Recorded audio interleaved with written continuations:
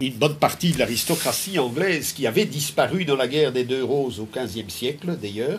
L'aristocratie normande avait disparu dans la guerre des Deux Roses. Elle va être remplacée petit à petit par la piraterie et les descendants de la piraterie. Donc là, il, y a, il va y avoir une alliance qui est plus ou moins calamiteuse aussi entre le grand banditisme de l'époque, euh, euh, le protestantisme iconoclaste et la couronne d'Angleterre.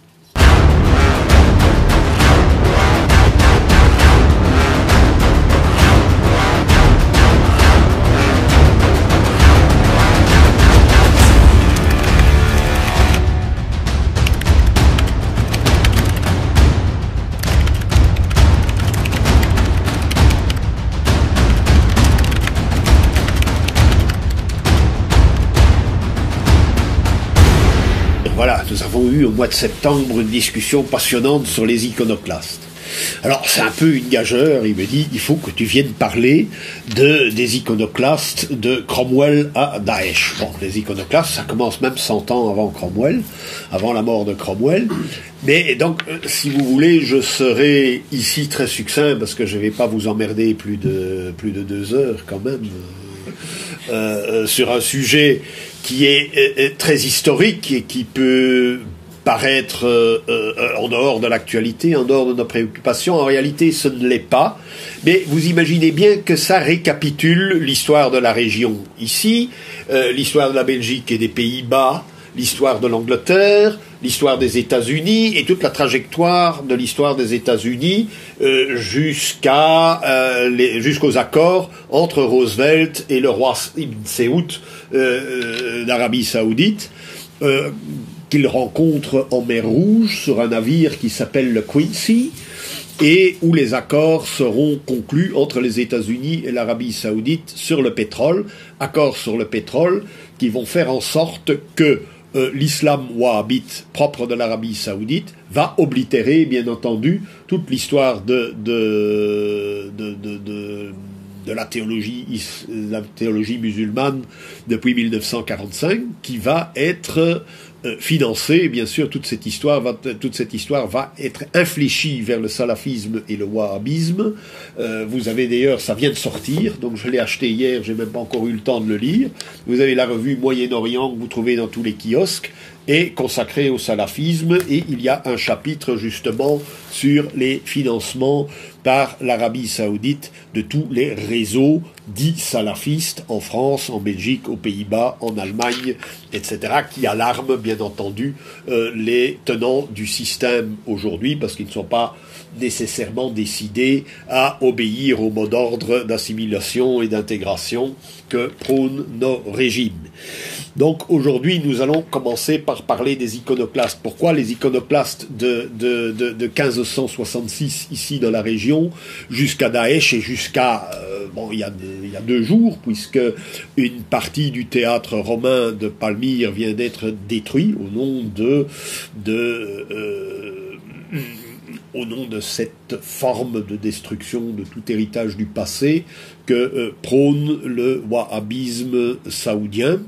Donc on détruit tout ce qui est du passé, c'est la définition d'un iconoclaste, c'est la, la destruction systématique des représentations de saints, de toute forme d'art religieux, surtout la peinture et la statuaire, parce que cela représente des visages, et c'est interdit par la théologie, euh, des objets utilisés dans les rituels liturgiques. Tout ça va être détruit, ce sont les fonds baptismaux, les reliquaires, les orgues, euh, les sièges des chœurs, etc. Et nous allons voir que cette destruction systématique a certes existé dans l'Empire byzantin à un certain moment de l'histoire byzantine, mais qu'il va réémerger en Occident, précisément ici dans la région, en 1566. Donc, euh, aujourd'hui, face aux destructions opérées d'abord par les talibans en Afghanistan, qui ont démoli tous les vestiges du bouddhisme, dont les Bouddhas euh, de Bamiyan, euh, jusqu'à Palmyre, etc. On appelle ça, un écrivain anglais, un certain Bevan, appelle ça l'urbicide. Et il accuse, bien entendu, euh, bon, il, met en exergue la, nature iconoclaste, y compris du protestantisme, et il voit euh, cela à l'œuvre non seulement en Afghanistan ou à Palmyre avec les talibans ou avec l'État islamique, mais aussi dans l'ex-Yougoslavie où de part et d'autre, ben, les Serbes détruisent les mosquées dans les régions qu'ils se mettent à contrôler et les Kosovars détruisent tout à fait l'héritage slave euh, du Kosovo. Donc, euh, mais il accuse également son propre pays, la Grande-Bretagne, d'avoir démoli une ville d'art qui était Dresde euh, en 1945, puisque Dresde était euh, le contraire diamétral du militarisme prussien. Les Saxons ne supportaient pas le militarisme prussien et avaient voulu créer une sorte de Florence du Nord, une ville d'art, de musée, d'art baroque, de, de, de peinture, etc. Et cette ville a été systématiquement détruite par le maréchal Harris, sur les ordres du maréchal Harris, euh, Feldmarschall de britannique de la Royal Air Force. Bomber Donc, Harris. Euh, euh, Bomber Harris, comme on dit en Grande-Bretagne, effectivement. Donc ce mouvement iconoclaste qui va commencer en 1566 ici avait eu quelques antécédents en Europe et c'est sur une période de 44-50 ans que vont se dérouler ces ravages essentiellement en Europe du Nord euh, dans les régions qui seront secouées par euh, le, protestantisme. Ça commence évidemment contre l'avis de Luther, parce que Luther n'était pas en faveur de, des iconoclastes, nous allons le voir tout à l'heure, mais ça commence sous l'injonction de certains de ses, de ses disciples que l'on peut qualifier de zélotes. Ça commence en 1522 à Wittenberg même, en Allemagne, en 1523 à Zurich et à Strasbourg, en 1530 à Copenhague au Danemark, en 1534 à Münster, qui est la capitale d'une révolte populaire anabaptiste, d'un protestantisme fondamentaliste dans le nord de l'Europe, euh, où Karl Marx euh, verra d'ailleurs une première manifestation de communisme populaire.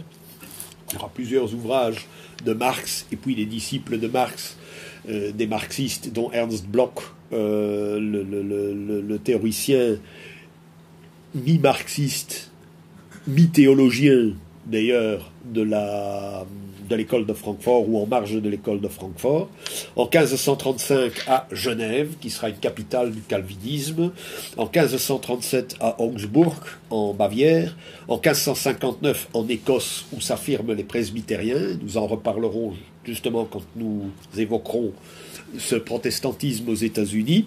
Et en 1566, le 10 août, cela commence ici même, dans la région euh, lilloise, euh, et euh, cela va s'étendre à l'ensemble des Pays-Bas, c'est-à-dire d'ici jusque dans le nord des Pays-Bas actuels, jusqu'en Frise. Donc ça va s'étendre jusqu'en octobre 1566. Nous aurons là à peu près trois mois de ravages dans toutes les dans toutes, dans toutes les églises, dans tous les bâtiments religieux, dans toutes les villes des Pays-Bas quasiment. Euh, on n'en parle pas beaucoup, et euh, j'en discutais avec Manu, on n'en parle pas beaucoup dans l'historiographie française que vous avez euh, reçue à l'école, tout simplement parce que bon, c'est un, phénomène dans l'histoire de l'Hexagone qui finalement est marginal, qui ne regroupe que quelques communes dans le département du Nord et peut-être dans le département du Pas-de-Calais, encore qu'Arras est resté essentiellement catholique et n'a pas été affecté par le mouvement protestant. Ce n'est pas un acte fondateur, bien entendu. En revanche, pour euh, la Belgique et les Pays-Bas, essentiellement pour les Pays-Bas, c'est véritablement le, le, mouvement qui va, qui va créer l'indépendance et qui va créer l'État, l'État hollandais. Donc on en parle euh, beaucoup dans l'historiographie euh, néerlandaise flamande et même l'historiographie belge, puisque la Belgique, elle, va s'identifier aux Pays-Bas espagnols. Donc elle va s'identifier à la euh, contre-réforme catholique. Donc euh, euh, ces événements sont aussi fondateurs de la Belgique, mais à contrario. Tandis que pour la Hollande, c'est l'action qui est véritablement fondatrice de l'État. Donc les sept provinces du Nord vont être euh, surdéterminées par le protestantisme iconoclaste, encore que nous allons voir que ce n'est pas euh, véritablement noir et blanc. Nous allons avoir des régions protestantes dans le sud et des régions, des régions donc protestantes et iconoclastes dans le sud, et de même nous aurons des régions qui resteront catholiques et iconodules. Donc iconodules, c'est le contraire d'iconoclaste, c'est ceux qui aiment les images, qui vénèrent les images, euh, qui sont une religiosité qui vénère les images, nous aurons effectivement de grandes villes des Pays-Bas qui resteront euh, catholiques. Alors cela va déclencher, donc 1566, une guerre qui va durer exactement 80 ans. C'est la fameuse guerre de 80 ans entre l'Espagne catholique, mais entre le monde catholique d'une part, et les Pays-Bas qui vont se poser comme les, comme les premiers champions du protestantisme et d'un protestantisme radical, donc iconoclaste. Alors, euh, pour la mémoire collective, c'est donc absolument important. Alors, nous voyons les villes qui sont ravagées sont essentiellement Tournai et Valenciennes. Valenciennes est un centre virulent de, des iconoclastes. Ypres, qui est tout près d'ici, et puis cela passera à Gand, à Gand où il y a une catastrophe, puisque la grande bibliothèque euh, la grande bibliothèque d'un couvent, du principal couvent gantois, va être incendiée, réduisant en centre, évidemment, une grosse partie de la mémoire collective de, la région. Hmm, donc nous avons perdu là, par euh, l'action des iconoclastes, une grande partie de notre mémoire collective. Une seule chose a été sauvée, vous pouvez toujours l'admirer dans la cathédrale de Gand, c'est l'agneau mystique de Van Eyck, qui est euh, le fleuron, euh, évidemment, de cet art de l'époque bourguignonne du XVe siècle euh, flamand, qui est quand même une religiosité très différente de celle qu'on a essayé de nous vendre euh, euh, au XIXe siècle avec Saint-Sulpice, pour résumer brièvement ce que c'est, ou à partir de Vatican II, qui est une sorte d'iconoclasme moderniste, un iconoclasme, actualisé, j'y reviendrai. Donc ensuite, cela passe à Termonde, à l'Ost, surtout Anvers, avec en, Anvers la destruction de ce qu'il y avait au coin de chaque rue, qui a été restaurée, bien entendu. Si vous passez à Anvers, même dans les quartiers ultra commerçants, vous verrez à chaque coin de rue, il y a une statue mariale qui est, euh, qui est, qui est mise en exergue. Eh bien, toutes les statues mariales du Moyen Âge, il n'y en a plus, il n'en existe plus, parce qu'elles ont toutes été détruites par les iconoclastes. Donc ensuite, euh, ça va à Lierre, même à Malines, qui était la capitale de, l'archevêché. Euh, et puis ça passe en Hollande, à La Haye, à Utrecht, à Amsterdam et jusqu'en Frise. Donc tous les Pays-Bas sont euh, ravagés par le par l'iconoclasme. Alors, qu'est-ce que cela signifie sur le plan théologique et idéologique? Ça, c'est la question qu'il faut se poser. Donc, c'est une réduction de la religion, donc, parce qu'une religion, bon, à mon sens, elle doit prendre tous les aspects de la vie humaine, même les aspects irrationnels que l'homme, même les croyances irrationnelles dans certaines formes de la nature, bon, que, qui étaient symbolisées justement par euh, les petites vierges ou par les croix qu'il y avait au coin des, des, des, chemins dans toutes nos campagnes, par les petites statuettes votives d'un saint, d'un saint local, d'un Deus Loci. Euh, comme on disait en latin. Donc c'est la réduction de la religion à la sécheresse finalement des dix commandements. Bon, je ne dis pas le bien fondé des dix commandements, puisque elle est à la base de toute forme de droit, euh, que ce soit dans les religions du livre ou ailleurs. Les dix commandements, c'est ça, mais réduire une religion à cela, euh, est effectivement insuffisant. Donc on va tout réduire au texte biblique, le texte et non pas l'image, euh, ni aucune dévotion. On va interdire toute dévotion face aux images, exactement comme va le faire le wahhabisme en Arabie saoudite et toutes les retombées du wahhabisme jusqu'au salafisme dans euh, nos propres banlieues, ici à Lille ou ailleurs en Europe occidentale. Donc il n'y a pas de dévotion euh, pour des images, on ne va pas prendre des images et surtout pour des visages. On verra par exemple que à Utrecht, Utrecht restera longtemps catholique, et puis la deuxième vague iconoclaste qui va s'abattre sur la ville d'Utrecht, qui est un, grand évêché en Hollande, le plus grand évêché catholique en Hollande, puisqu'elle donnera euh, euh, l'avant-dernier pape germanique, c'est-à-dire Adrien. Adrien sera l'archevêque de Courtrai, et il faudra attendre évidemment euh, Benoît XVI pour qu'il y ait encore un pape, un pape allemand, et encore c'est un munichois qui est très proche de l'Italie. Bien, donc à Utrecht, vous verrez la tombe d'un noble local, donc du Hainaut, c'est Guy d'Aven, donc le, tombeau, le, gisant de Guy d'Aven, qui, vient de la ville d'Aven ici dans la région, qui est très importante, qui était un centre de protestantisme, j'y reviendrai, eh bien le gisant de Guy d'Aven est complètement martelé, on a cassé son visage à coups de marteau. Donc il ne s'agit pas seulement d'abattre des statues mariales ou d'abattre des statues de saints, mais aussi de détruire tout visage qui a été sculpté par la main d'un artiste.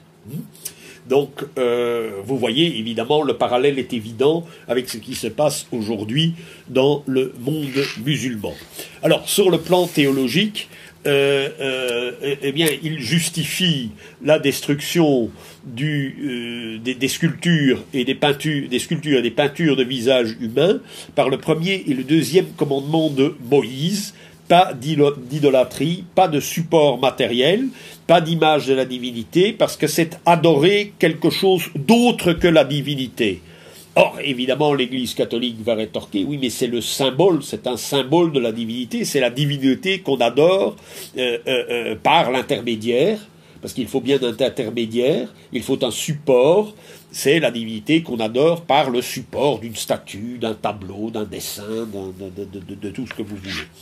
Donc les images dit, euh, répondent, répondent les tenants de la contre-réforme catholique. Les images sont pour les ignorants qui ne savent ni lire ni écrire. Il faut leur donner un support, un euh, support pour qu'ils euh, s'imaginent ce qu'est l'histoire des saints, du Christ, les histoires qu'on raconte dans les évangiles. Il faut qu'il y ait un support. Donc, ben, je pense surtout à la première bande dessinée qui figurait dans toutes les églises. Euh, qu'est-ce qu'une bande dessinée? Ben, C'est un chemin de croix. Euh, l'idée d'une bande dessinée, c'est le chemin de croix. Vous avez effectivement le chemin de croix, vous voyez toutes les étapes de la passion du Christ, ça se forme comme une bande dessinée. Euh, sinon, impossible de faire comprendre ici dans nos régions euh, des événements qui se sont déroulés dans un monde proche-oriental qui était complètement étranger. Alors ici, petite parenthèse, euh, avec quel évangile a-t-on euh, évangélisé nos régions? Certainement pas avec celui qu'on vous donne à la messe, qui est une traduction ou une interprétation ou de textes grecs pour la plupart, mais qui datent de l'Antiquité. Eh bien, quand on est arrivé dans le nord de l'Europe, on n'a jamais utilisé, bien entendu, ces évangiles, parce que dire par exemple, et c'est l'exemple qui est le plus communément cité, le Christ se retire pendant 40 jours dans le désert. Alors il va se retirer dans. C'est quoi un désert? Raconter ça à un gars qui vit en lisière de la forêt euh, charbonnière ici dans nos régions, ou un gars qui voit de l'herbe pousser partout dans une terre bien grasse où pèsent ses vaches, etc., où il pleut tout le temps, il va se retirer dans un endroit où il n'y a que du sable et des cailloux. Alors on leur aurait dit, mais votre, votre Messie, là, il est complètement fou. Enfin, vous comprenez, aller se retirer là où il n'y a que du sable et des cailloux.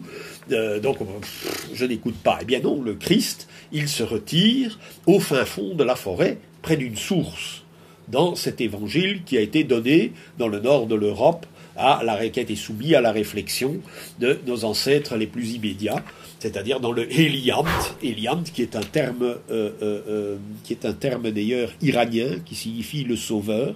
Pourquoi? Parce qu'il y, a, y a un élément iranien important qui est seulement découvert maintenant par l'archéologie dans nos régions.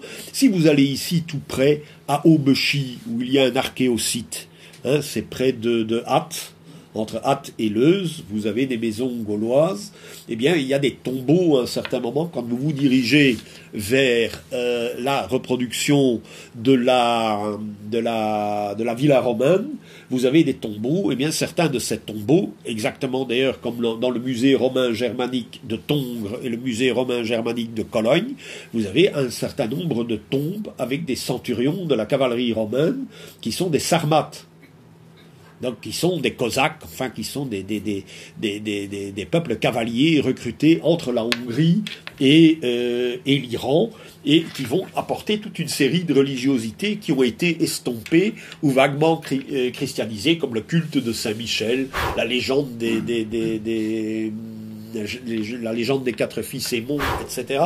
Donc il y a toute cette religiosité qui euh, euh, vient de là. Donc euh, il y a une incarnation, il y a des images qui servent à vénérer des personnes divines, et il y a une adaptation, bien entendu, constante de la religion aux, aux réalités locales.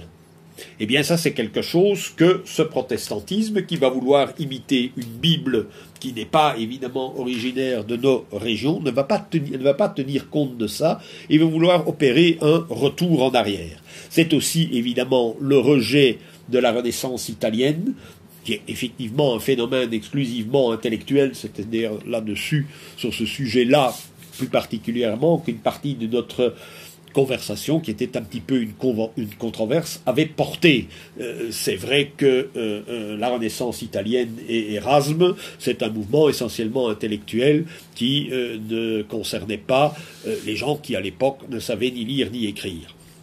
Donc il y a un rejet aussi de tout l'humanisme et aussi du retour des images, bon, avec Jules II et Michel-Ange, images qui avaient coûté très cher, puisqu'on vendait des indulgences. Je dis, ben voilà, mon cher ami, voilà, ici, euh, donnez-moi 1000 ducats et vous aurez 100 000 ans de purgatoire en moins, même si vous troussez la gueuse plus que de raison, ou si vous, si vous volez votre adversaire, ou même si vous avez tué votre rival. Bon, vous aurez 100 000 ans de purgatoire en moins, etc. Bon, donc le rejet des calvinistes et des iconoclastes vont aussi se jeter sur toute liturgie. Alors, quand je prononce le mot liturgie, qu'est-ce que ça vous, dit Le mot liturgie?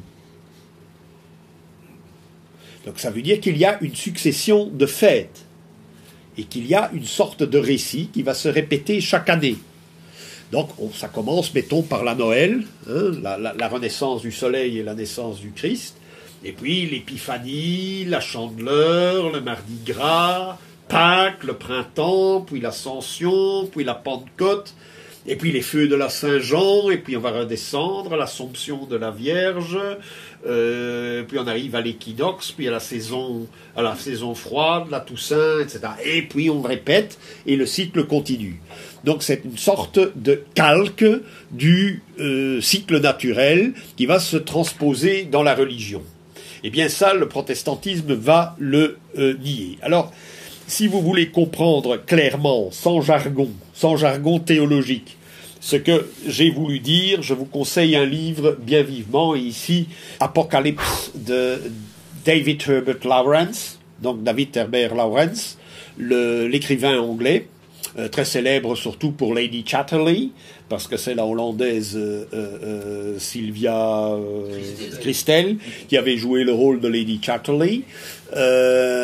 Donc, que fait Lawrence? En fait, il se révolte contre un puritanisme anglo-saxon et euh, il sort de la carcasse et du carcan puritain et victorien euh, pour euh, déborder et, prôner une sexualité libérée ou débridée. Mais il n'y a pas que ça. Dans Apocalypse, il se dit, voilà, je justifie mes positions en disant à la fois notre puritanisme anglo-saxon, d'une part, et ensuite la rationalisation de ce puritanisme, et je vais en reparler, vont effacer euh, cette liturgie, on va balayer cette liturgie. Or, elle est indispensable à l'équilibre psychique de l'homme.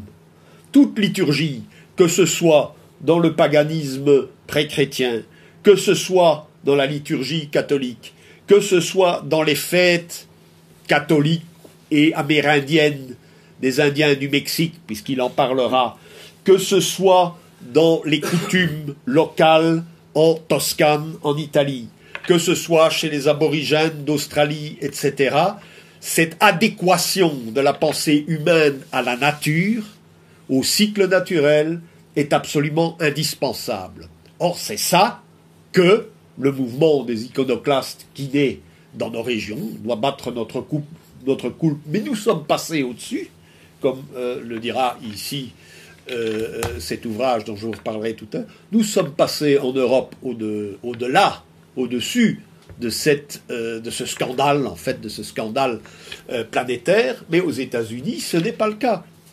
Donc, voilà ce que cela signifie théologiquement, donc le rejet de la liturgie, le rejet de la représentation, le rejet de l'incarnation de la divinité dans une œuvre d'art, c'est ça que représente à la fois le calvinisme né ici en 1566 et euh, les mouvements équivalents dans le monde musulman, dont euh, bien entendu Daesh et dont les dernières manifestations se sont déroulées il y a deux ou trois jours à Palmyre. Donc ce n'est pas nécessairement le cas de Luther. Luther est plus équilibré. C'est en revanche le cas de Zwingli en Suisse, en Suisse alémanique, et de Calvin en Suisse romane, à Genève. Aucune représentation par les arts plastiques n'est tolérée à l'intérieur des temples. Euh, il y a une purgation des temples. On va les purger de toute œuvre d'art. Et c'est aussi le cas des presbytériens écossais qui vont même s'insurger sur les trop grandes dimensions des édifices religieux euh, parce que c'est un gaspillage qui n'est pas nécessaire. Il faut de petites chapelles, ou bien alors à la limite, on fait comme les calvinistes de 1566, c'est-à-dire qu'on va prêcher dans les champs ou au coin des, au, coin des rues. Donc, euh, parallèlement à euh, cette destruction, à cette révolte religieuse, il y a bien sûr une émancipation de la bourgeoisie. Il y a une interprétation euh, qu'on peut qualifier de marxiste, mais elle n'est pas à exclure dans notre démarche critique. Euh, il y a une bourgeoisie qui ne veut pas d'apparat à l'époque. Le bourgeois est en gris, il s'habille en gris, il n'a pas de couleur dans ses vêtements, et ça va se répéter dans toute l'histoire du protestantisme.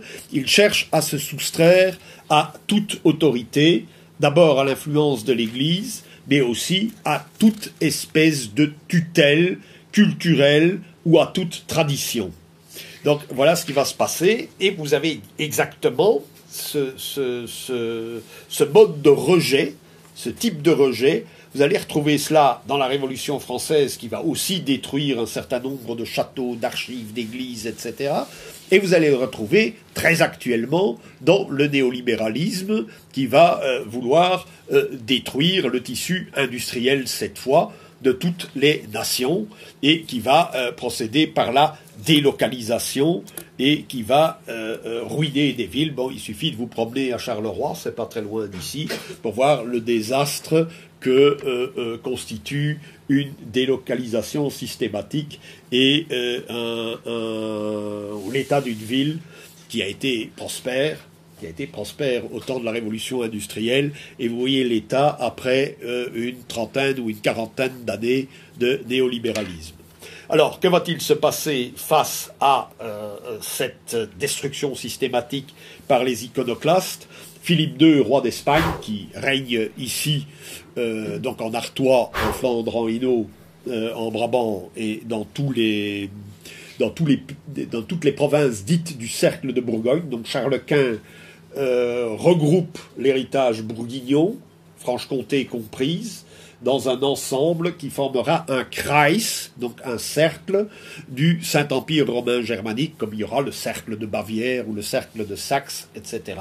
Donc ici, c'est le cercle de Bourgogne, où l'on parle trois langues, donc l'allemand, le néerlandais et le français. Euh, donc l'allemand au Luxembourg le, et dans, dans, dans, une partie de la Gueldre, le néerlandais partout ailleurs, le français en Wallonie et en Franche-Comté. Bon, alors euh, euh, il va ordonner la répression et il va envoyer un basque, le duc d'Albe, qui, euh, pourquoi envoie-t-il le duc d'Albe et pas un autre espagnol? Ben, Tout simplement parce que le duc d'Albe est le commandant en chef des armées du Saint-Empire. C'est un espagnol, mais il est le commandant en chef des armées que l'on recrute en Allemagne. Donc, euh, à partir de ce moment-là, va se créer quelque chose d'autre dont on parle beaucoup en Espagne, avec un regret et avec beaucoup d'amertume, c'est que va se déclencher, à partir de la répression du duc d'Albe, va se déclencher un mécanisme qui s'applique aujourd'hui qui s'est appliqué récemment à Saddam Hussein, à Kadhafi et à euh, Bachar el-Assad, c'est-à-dire le phénomène de la légende noire. Donc systématiquement, le monde protestant, le monde anglo-saxon après, va générer des légendes noires qui vont s'appliquer d'abord à l'Espagne. L'Espagne sera la première victime de la légende noire, et puis ça va s'appliquer successivement à la Russie, puis à l'Allemagne, puis au Japon, etc. Et vous verrez alors toute une, toute une série de récits, toute une iconographie, euh, tout un cinéma finalement, qui va euh, euh, jeter l'opprobre sur, euh, sur ces pays, sur ces pays qui ont tenté de, de, de, de, faire basculer ou d'effacer l'emprise de ce protestantisme iconoclaste. Donc, malheureusement, la répression du duc d'Albe, qui ne va pas aller avec le dos de la cuillère, donc il faut voir, le bonhomme était un grand maigre de 2 mètres de haut, ce qui devait être très impressionnant à l'époque, va détruire la belle harmonie euh, euh, que constituaient ces Pays-Bas. Il faut, il faut dire qu'à partir de ce moment-là, on sort définitivement d'un âge d'or de la culture. Il faut voir au XVe siècle, ben, la peinture, euh, elle est magnifique, la, la, musique, elle est, elle est époustouflante, elle est, je dirais qu'elle est même plus belle que la musique classique parce qu'elle a une, côté d'une sobriété, une sérénité qui a été absolument inégalée dans l'histoire de la musique. Et euh, ici, je crois, dans la région, il y en a plusieurs qui, euh, plusieurs euh, grands musiciens qui sont nés ici dans cette région, à l'île Valencienne, etc., et qui ont brillé à la cour de Bourgogne. Donc on sort de cet âge d'or et on ne le quitte plus. Il y a même une statistique qui a été faite en Belgique. Il a fallu attendre, je crois, les années 50 pour avoir le même niveau de vie qu'en 1430, au moment où, le, même niveau de vie général, y compris pour le, pour le populaire, pour le, pour le vulgum pecus, comme on disait, le même niveau de vie, il a fallu attendre les années 50 du XXe siècle pour atteindre le même niveau que sous Philippe le Bon de Bourgogne où euh, nous n'étions absolument pas dans la misère. C'est une, c'est une, et pour les plus jeunes d'entre vous, je conseille de lire Les Voyages de Gênes par euh, le créateur d'Alix, la bande dessinée. Il fait les voyages de Gênes, son personnage. Il fait le voyage de Gênes notamment à Bruxelles, qui était une ville, euh, une ville de plaisir et de, et de luxe, euh, du temps de Philippe le Bon, bien entendu. Après, ça a été complètement fini. Il faut dire qu'on plonge dans plusieurs siècles de misère après ces ravages d'iconoclastes et après la répression du duc d'Albe. Donc la belle harmonie va être euh, brisée et ça va briser le cœur de la gouvernante qui est la brave Marguerite de Parme qui va démissionner euh, euh, du coup et qui va laisser le duc appliquer la triple politique préconisée par Philippe II depuis son palais de l'Escorial, éradiquer le protestantisme, punir les fauteurs de troubles, et alors ce qui va déclencher la sécession de la noblesse, comme on appelait les gueux, c'est la centralisation. Parce qu'effectivement, euh, hier comme aujourd'hui, euh, bon ben, en France, c'est pas tout à fait la même chose, mais en Belgique, dès qu'on parle de centralisation, on a la levée de 100 000 boucliers qui vont inventer, euh, même de manière tout à fait spécieuse, une particularité qu'il s'agira de défendre. Bon, à l'époque, c'est la même chose. Mais en 1572, les gueux, dont une bonne partie sont d'ailleurs originaires du Hainaut, euh, vont devenir les, gueux de mer, ils vont euh, développer des capacités navales et ils vont appliquer des tactiques navales, vont prendre la Brielle, qui est un petit port euh, à l'embouchure de l'Escaut. L'Escaut sera bloqué et virtuellement, les provinces du Nord, les provinces protestantes, par le blocage de l'Escaut, vont euh, bloquer économiquement l'ensemble de nos régions, les plonger dans la misère, alors que dans le Nord, au contraire, le XVIIe siècle sera un siècle d'or. Mais euh, à partir d'ici, le, XVIIe siècle, qui est un grand siècle pour euh, les Français de l'intérieur, comme, disent les Alsaciens, ou pour les Hollandais, est un siècle, le siècle des malheurs, disait-on en Belgique, et pour les Allemands aussi, c'est le siècle de Grimmelshausen. Donc c'est le siècle de mer courage, c'est le siècle des ravages de la guerre de Trente Ans et des guerres de Louis XIV. Donc Guillaume d'Orange va se mettre à la tête des anticentralistes va vouloir une indépendance du cercle de Bourgogne, un retour plein et entier au Saint-Empire, donc au Reich, pour échapper à la tutelle trop catholique des euh, rois d'Espagne, pour euh, permettre, comme en Allemagne après la paix d'Augsbourg avec Charles Quint, la coexistence des deux religions pour éviter la guerre civile et pour éviter simplement la guerre sur le territoire, il va se replier à Nassau, recruter des mercenaires allemands et euh, euh, défendre les droits de la réforme dans les Pays-Bas.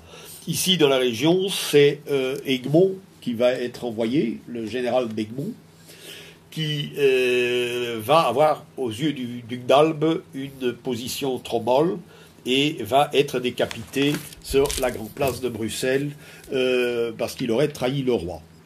Donc en 1580, les, derniers bastions catholiques du Nord tombent. En 1580, c'est Utrecht qui tombe. C'est à ce moment-là que la tombe de Guy d'Aven est euh, euh, euh, désacralisée par les protestants.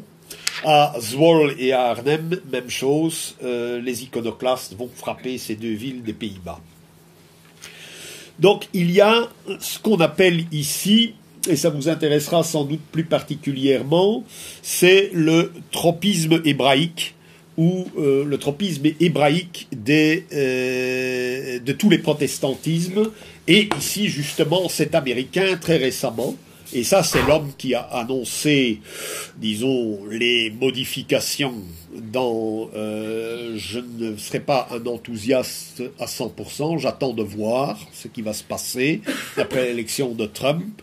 Mais enfin, il est un fait qu'une bonne partie de l'électorat américain a dit zut à l'état profond non pas l'État profond qui est la CIA ou, le complexe militaro-industriel, mais l'État profond qui est justement cette lame de fond protestante, ce euh, radicalisme religieux qui est dénoncé ici, entre autres phénomènes. Donc c'est un retour à un christianisme primitif judaïsant qui n'est pas encore évidemment complètement détaché de sa matrice hébraïque. Donc au IVe et au 8e siècle, oui, on voit évoluer euh, euh, l'Église chrétienne et ce qui en tient lieu. Euh, on voit évoluer l'Église chrétienne qui dit exactement le contraire du, judaïsme et vise une apologétique par l'image. Elle est ce christianisme primitif du 4e au 8e siècle est iconodule. Grégoire le Grand, euh, qui est le pape entre 590 et 604, parle d'un catéchisme par l'image, on enseigne les masses par l'image, et euh, il dira c'est la literatura illiterato, c'est-à-dire la littérature pour l'illettré. Donc le premier temps, il s'agit de s'émanciper du judaïsme iconophobe pas d'iconoclaste, puisqu'il ne brise pas les images, mais il est iconophobe, il est contre les images.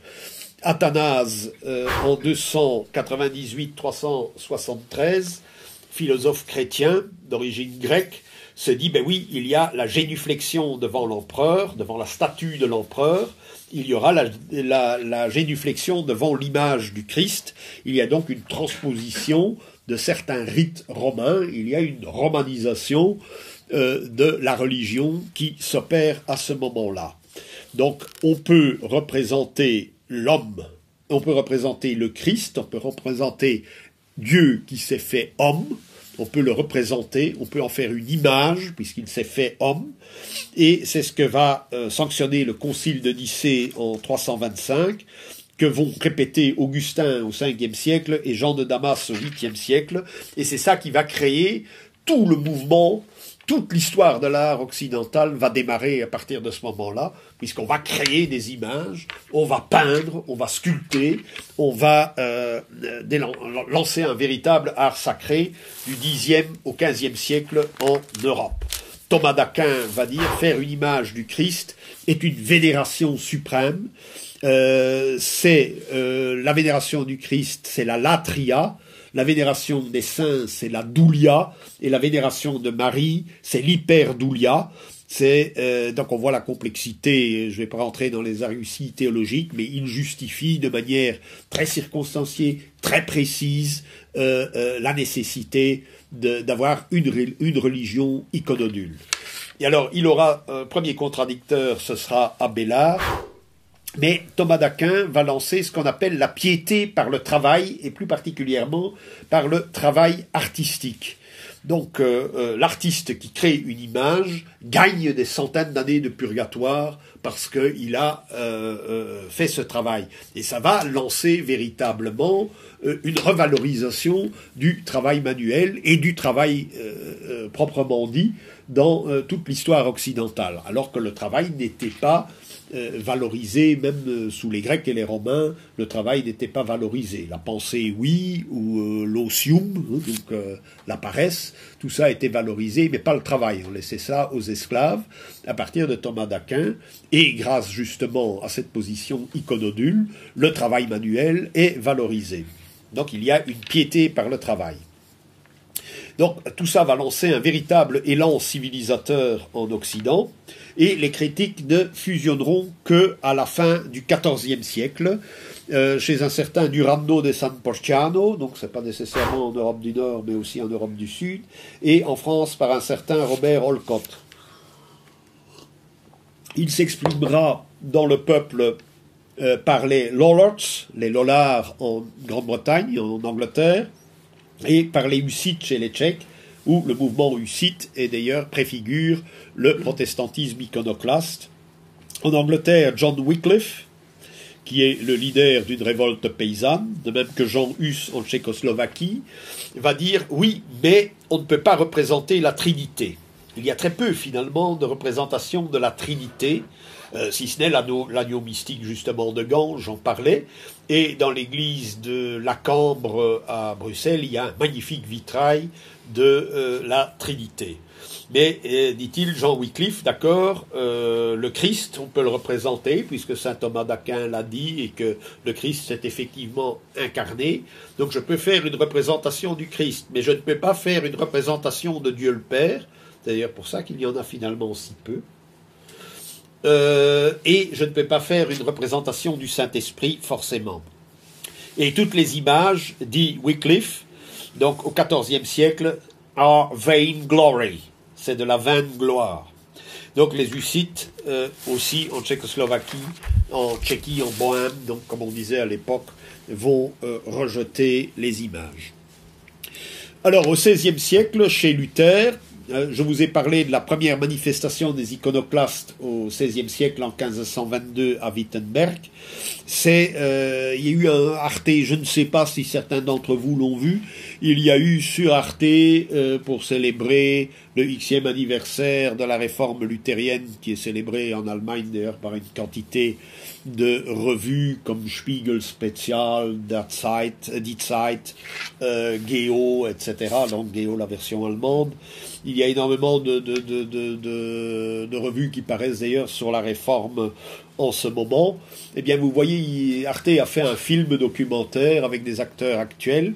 Euh, Andreas Bodenstein von Karlstadt, qui est un ami de Luther, lui euh, est iconoclaste, contrairement à Luther, qui lui va appuyer euh, un, grand artiste aussi, qui est Lucas Cranach, où il y a eu des, expositions, je ne sais, je crois qu'il y en a eu une à Paris, il y a un an ou deux, sur Lucas Cranach. il y a le père et le fils, il y a le, enfin le vieux et le jeune.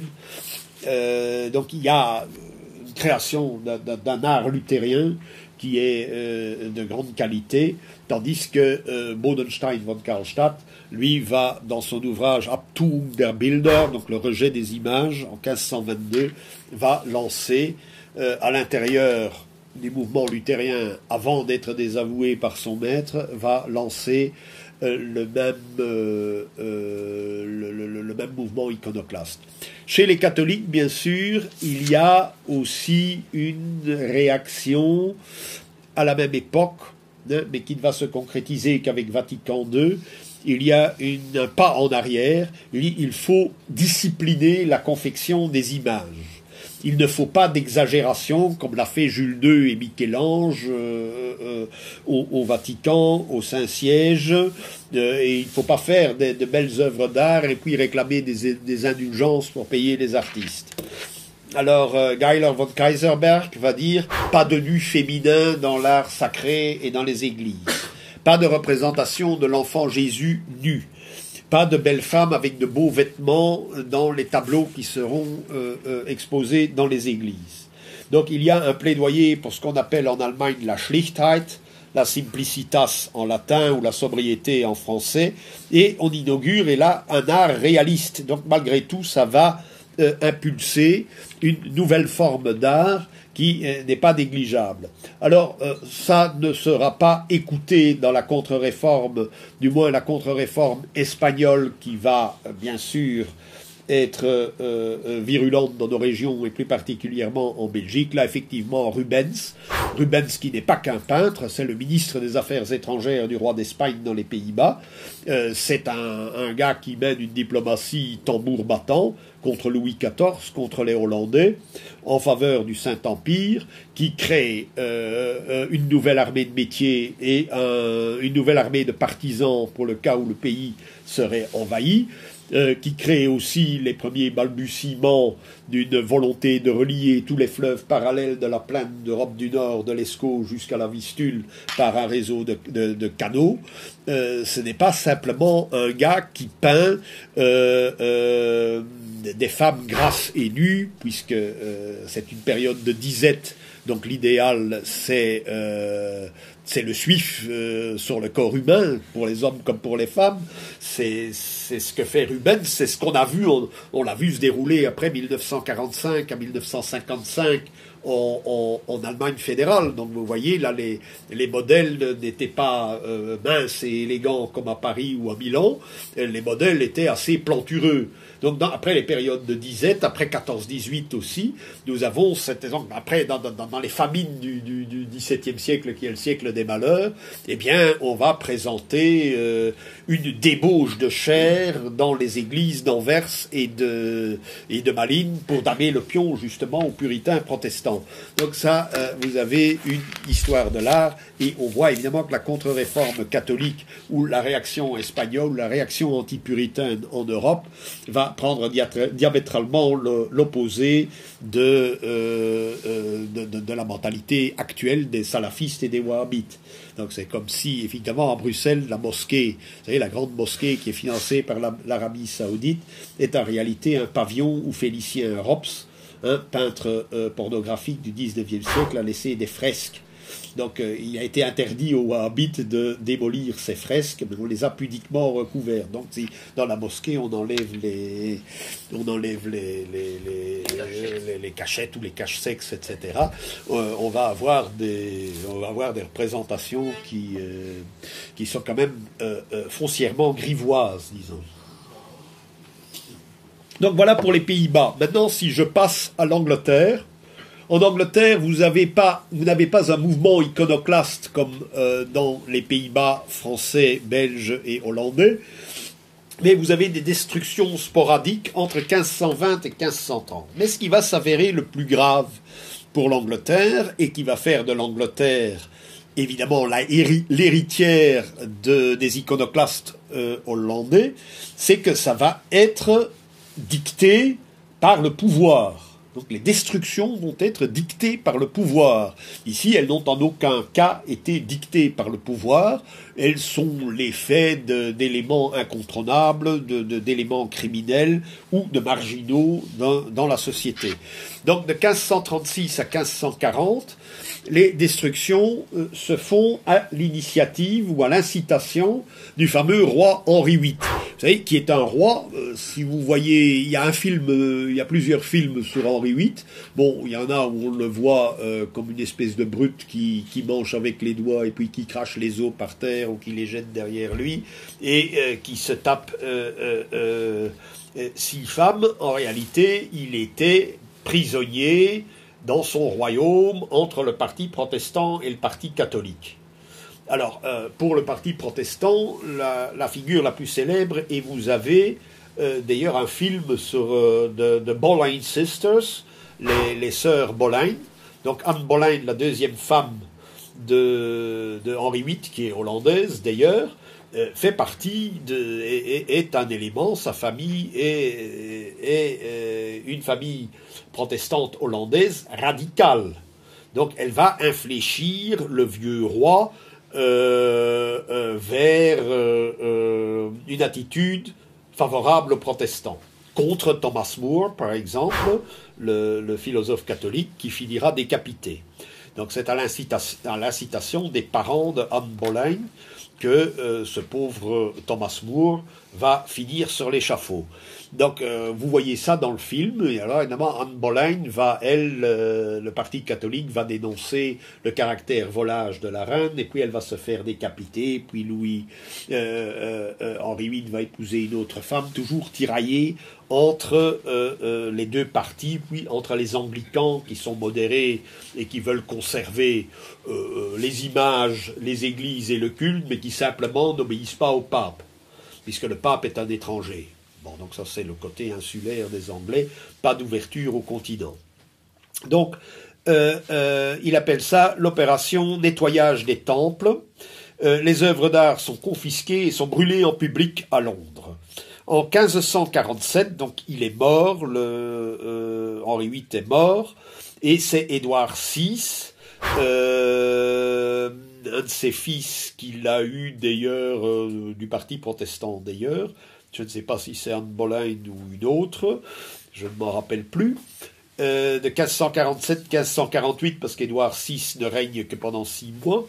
Il fait enlever les œuvres des églises de Londres, dont toutes les représentations de Marie et de Jean. Euh, et il y a destruction aussi d'un très grand nombre de livres liturgiques, une fois de plus, donc hostilité du protestantisme à la liturgie. Et en 1550, le Parlement, cette fois, donc ce n'est plus seulement le roi, le Parlement donne ordre de détruire toutes les images ou bien de les charger sur des navires et d'aller les vendre aux Français euh, pour euh, toujours engrancher un peu d'argent, ça peut toujours servir, n'est-ce pas? Pour faire la guerre à l'Espagne, par exemple. Mais en 1555, que se passe-t-il? Ben, euh, Édouard VI est mort, euh, il y a une querelle dynastique, et il reste plus qu'un seul héritier au trône, c'est Mary. Et Mary, elle est la fille de Catherine d'Aragon, et elle représente le parti catholique. Donc il faut savoir qu'entre 1555 et 1558, puisqu'elle est la femme de Philippe II d'Espagne, l'Angleterre et l'Espagne et les Pays-Bas du Sud et le Milanais et la Franche-Comté ne forment qu'un seul et même État. Donc, quand il y a des guerres, les fameux tercios espagnols sont certes composés de solides gaillards des Cantabriques ou des Pyrénées ou de l'Aragon, puisque c'est eux qui fournissaient les meilleurs soldats, ça c'est une autre histoire. Euh, mais il y a ici, dans les batailles qui se déroulent dans le nord de la France, euh, ce sont des, des tercios et des régiments irlandais. Il y a énormément de, il y a même des tertios anglais. Donc on va voir aussi une bonne partie, euh, quand on remplace les morts qui sont petit à petit expulsés d'Espagne, mais ils sont remplacés par des gens des Pays-Bas, hmm, euh, par des marins hollandais dans le nord de l'Espagne, par des, par des Anglais catholiques et par des Irlandais, par des Bavarois et par des Suisses. Donc il y a là une recomposition de la population et j'ai envoyé, euh, je ne sais plus si c'est sur Facebook ou sur, les deux, Facebook et Twitter, j'ai envoyé un petit rapport génétique sur l'Afrique du Nord. Donc l'Afrique du Nord, qui se veut arabe, n'a moins de sang arabe issu de la péninsule euh, euh, arabique que de sang européen, puisque euh, la proximité de la Méditerranée occidentale fait que, et que 90% à peu près euh, des Nord-Africains sont de souche nord-africaine et pas d'autre chose. Alors que l'Espagne, il n'y a que 9%, malgré la proximité, il n'y a que 9% d'Espagnols, et il y a plus d'Espagnols qui sont de souche britannique que de souche nord-africaine. Et ainsi de suite. Et alors, c'est très curieux, c'est que la ville d'Anvers est la partie de la Belgique qui a 7% de sa population de souche qui est d'origine nord-africaine, par le port, justement. Donc c'est intéressant de voir euh, euh, ce changement de population, mais c'est dû à ces trois ans où Angleterre, Espagne, euh, Franche-Comté, Milanais et Pays-Bas ne forment qu'un seul et même royaume. Et en 1559, il y a brièvement, à la mort de Mary, qui meurt très tôt, il y a Mary, reine d'Angleterre et d'Espagne, euh, il y a un iconoclasme populaire, avant l'arrivée d'Élisabeth Ier, qui elle est la fille de Anne Boleyn du parti puritain hollandais. Mais que va faire Élisabeth? Elle va se dire on va maintenir l'église au centre du village, si je puis m'exprimer ainsi. On va, on ne va rien démolir du tout. C'est l'église anglicane.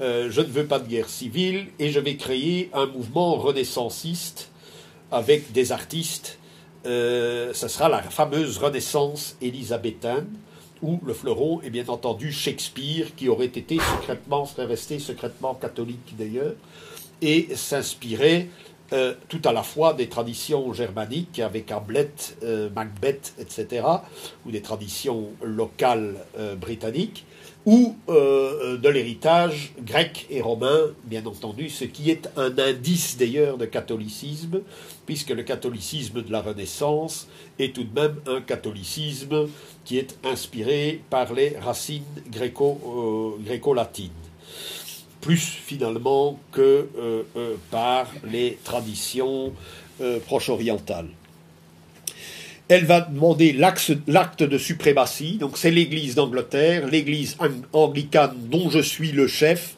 euh, qui doit euh, être suprême. Donc les catholiques n'ont rien à dire, mais les extrémistes protestants n'ont rien à dire non plus. Et alors nous allons avoir, euh, pendant d'elle jusqu'à Cromwell à peu près, elle et son successeur vont tenter de maintenir l'Église au sein du village pendant qu'aux Pays-Bas les Pays-Bas vont se déchirer entre l'union d'Arras catholique et l'union d'Utrecht protestante.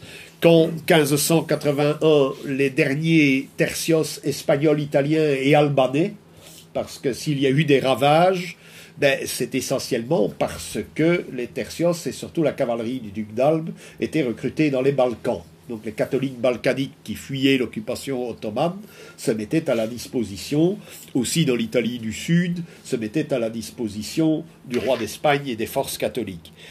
Donc euh, ces dernières troupes vont se retirer en 1581, laissant effectivement le, le contrôle des Pays-Bas par des tertios, à la demande d'ailleurs des États, de tertios allemands ou euh, italiens du Nord. Donc on ne va plus avoir de tertios espagnols ou albanais parce qu'ils ne sont pas ressortissants du Saint-Empire. Et les ressortissants, ceux qui n'étaient pas ressortissants du Saint-Empire, ça il faut le savoir, n'avaient pas le droit de porter les armes sur le territoire du Saint-Empire. Donc, euh, et ça, les protestants jouaient sur cette. Euh, donc, tout prisonnier espagnol était exécuté immédiatement, parce qu'il n'avait pas le droit de porter une épée sur le sol du Saint-Empire. Ce n'était pas le cas des mercenaires euh, milanais ou, euh, tyroliens, puisque c'était essentiellement, tertios allemands étaient essentiellement tyroliens. Bon, alors, euh, donc de 1585 à 1588, il y a la fameuse guerre entre l'Espagne et la Grande-Bretagne qui se solde par la destruction de la Grande Armada dans la mer du Nord et au nord de l'Écosse. Et là, il va y avoir un phénomène très intéressant qui va montrer l'alliance effectivement du protestantisme et de la piraterie. Puisque ne disposant pas de troupes, enfin d'une marine suffisamment importante pour faire face à l'armada espagnole, elle va enrôler euh, les pirates qui euh, euh, écumaient la Manche les pirates de tous les petits ports anglais qui pillaient les navires de commerce et qui étaient une véritable industrie. Donc elle va libérer de prison tous les chefs des pirates qui étaient promis à la potence en disant ben, à partir de ce moment-là, vous devenez lord. Et une bonne partie de l'aristocratie anglaise qui avait disparu dans la guerre des Deux Roses au XVe siècle, d'ailleurs, l'aristocratie normande avait disparu dans la guerre des Deux Roses, elle va être remplacée petit à petit par la piraterie et les descendants de la piraterie. Donc là, il, y a, il va y avoir une alliance qui est plus ou moins calamiteuse aussi entre le grand banditisme de l'époque, euh, euh, le protestantisme iconoclaste et la couronne d'Angleterre. Donc euh, en 1594, il y a encore une révolte en Irlande en faveur de l'Espagne, puisque l'Irlande, elle, reste catholique parce qu'elle veut avoir une entrée en Europe. Et ben, le Brexit, c'est ça. L'Irlande, elle, veut rester, même l'Irlande du Nord protestante, veut rester dans l'Union européenne, de même que l'Écosse. Donc nous voyons qu'à l'époque, c'était à peu près euh, le même schéma, et que ce schéma né il y a 300, 400, 500 ans, sont des schémas qui se reproduisent dans la plus brûlante des actualités. Donc en 1596, euh, les Anglais prennent Cadix et en 1615, en 1605, il y a la fameuse, euh, vous lirez ça d'ailleurs dans un numéro très récent, dernier numéro spécial sur le terrorisme d'ailleurs, où on parle de Daesh, mais on parle aussi d'un capitaine de ces tertios anglais de l'armée espagnole, Guy Fawkes, dont on célèbre la pendaison, décapitation, euh, étripation et euh, écartellement de ce soldat espagnol qui avait tenté de faire sauter le Parlement en Angleterre.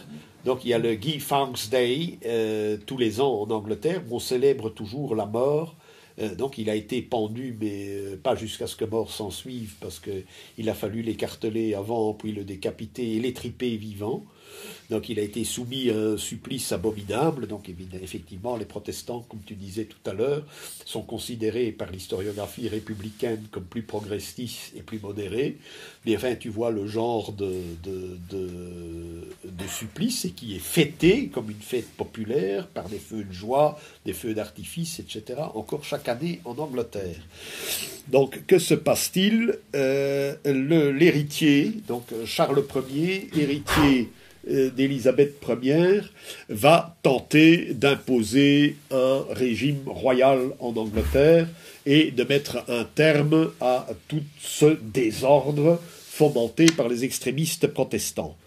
Donc il va supprimer euh, progressivement le Parlement à partir de 1628 il va le dissoudre en 1629 et il va euh, exercer, disent les protestants, sa, tyrannie pendant 11 ans, ce qui va, et là je vous passe les détails, aboutir à la dictature de Cromwell, qui est un, euh, euh, protestant radical.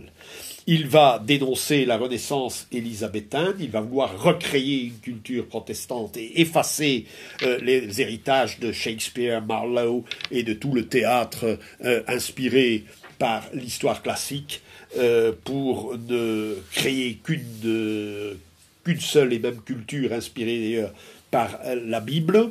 Et mais il ne va pas donner un blanc-seing, puisque malgré tout les extrémistes sont des démocrates fondamentalistes. Ils ne veulent pas un pouvoir fort. Mais lui, il dit qu'il a besoin de son pouvoir fort pour liquider le pouvoir royal. Donc les plus extrémistes, eh bien, ce sera le début de l'histoire des États-Unis. C'est euh, euh, euh, d'abord Charles Ier et puis Cromwell qui, qui va les chasser petit à petit. Mais en 1620, encore sous le pouvoir de Charles Ier, les extrémistes protestants, ben, on les met sur un bateau, où ils affrètent un bateau, on dit vous allez faire vos conneries au-delà de la, de la Grande Mare et qu'on ne vous revoit plus, vous n'avez qu'à créer votre Jérusalem nouvelle, euh, comme vous l'entendez, euh, en Nouvelle-Angleterre. Et les premiers pèlerins, ce sont les fameux pèlerins du Mayflower.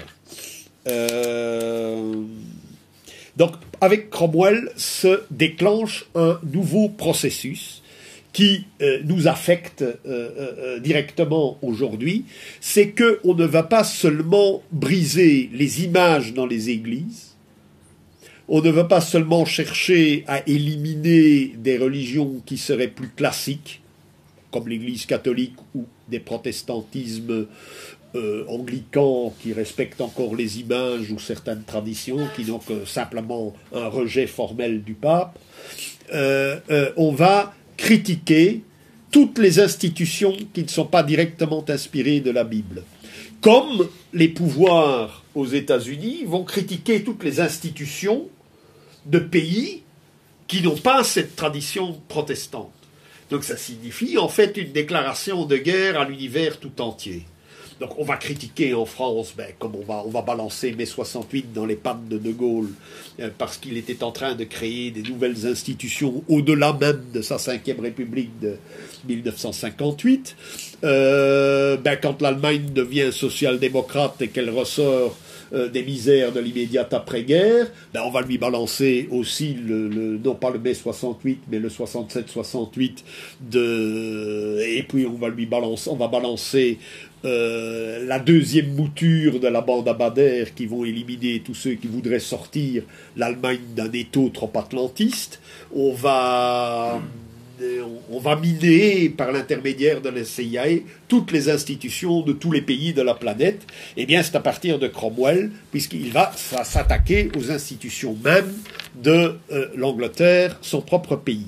Donc le Parlement doit servir à dissoudre les institutions, à, dissoudre toutes les continuités historiques, à dissoudre l'institution royale, euh, euh, comme va le faire d'ailleurs plus tard la République, qui recevra d'ailleurs une sorte d'imprimatur et qui va dévier ou qui va sortir de l'anglomanie du, du XVIIIe siècle français, des Lumières françaises.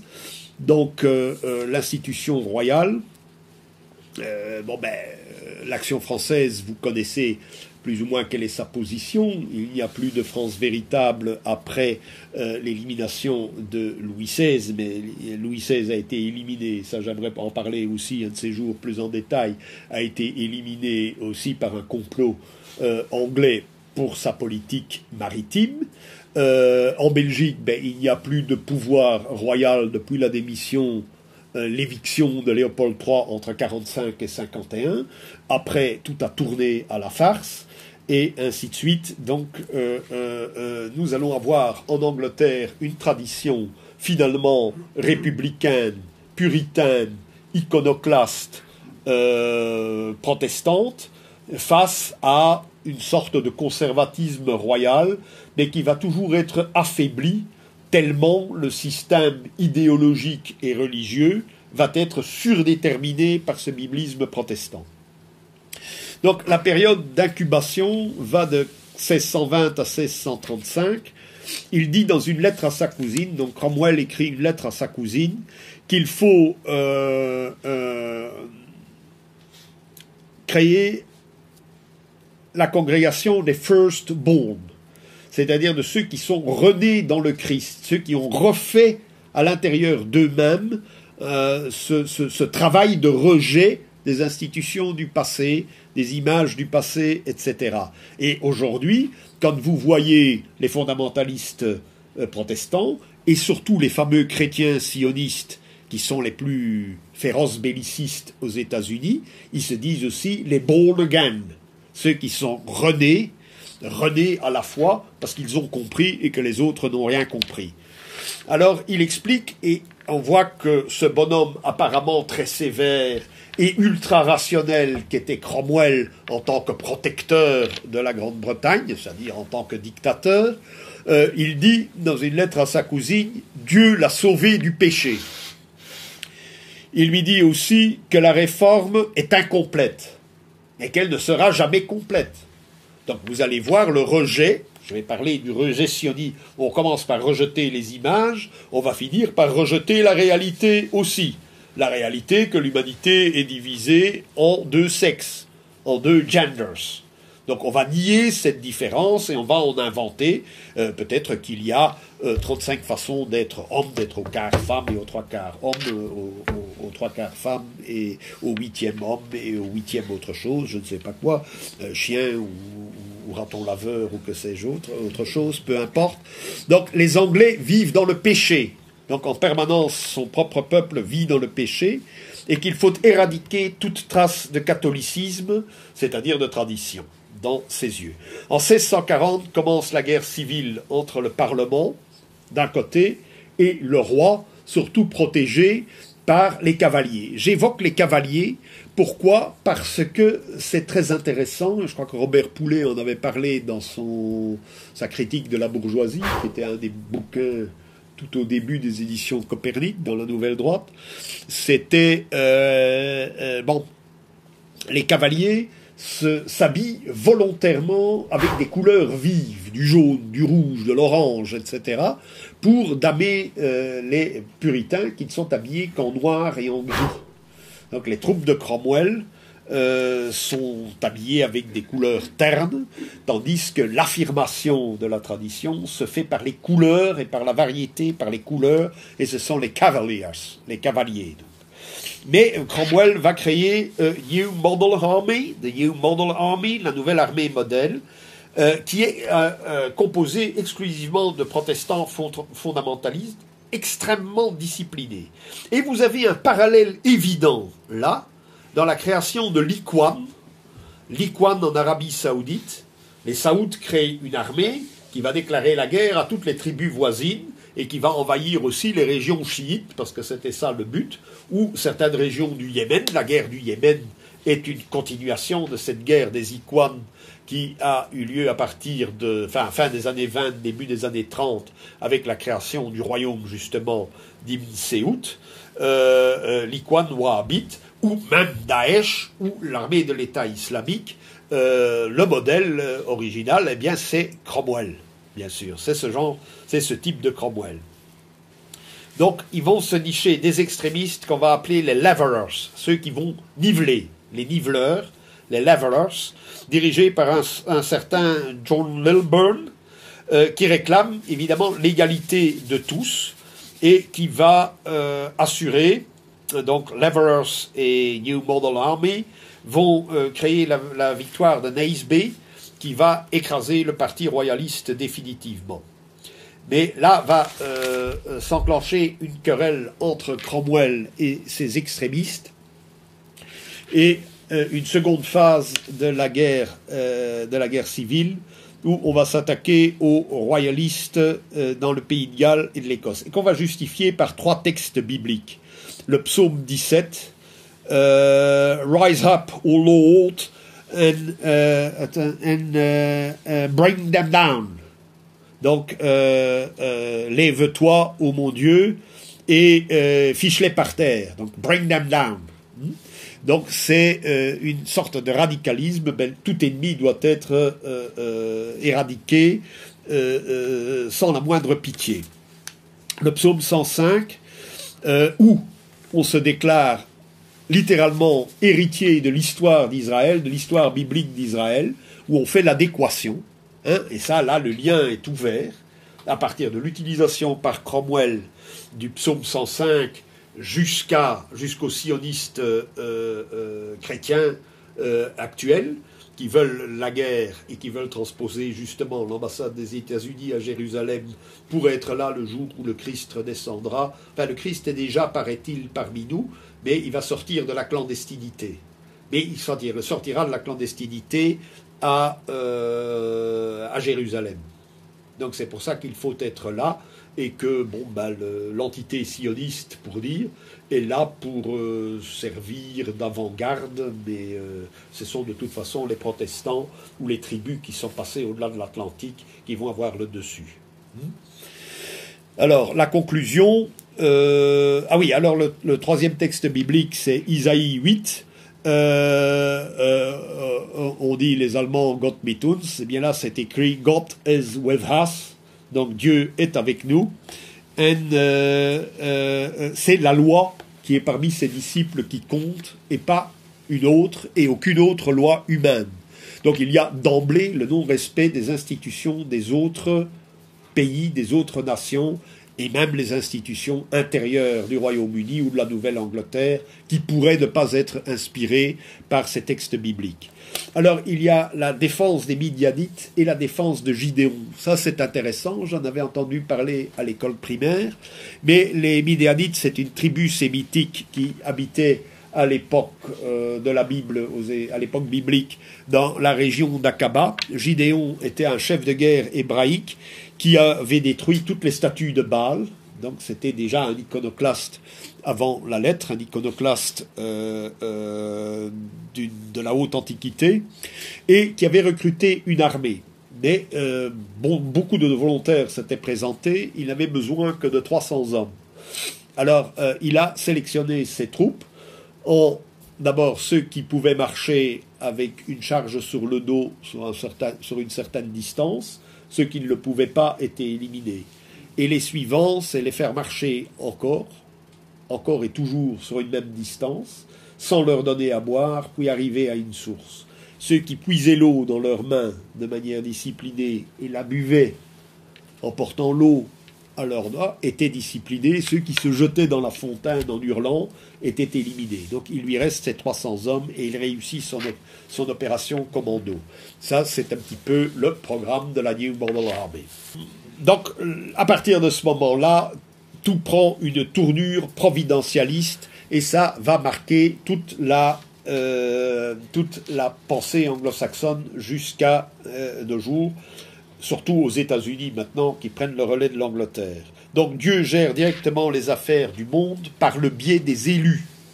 Donc eux sont les élus.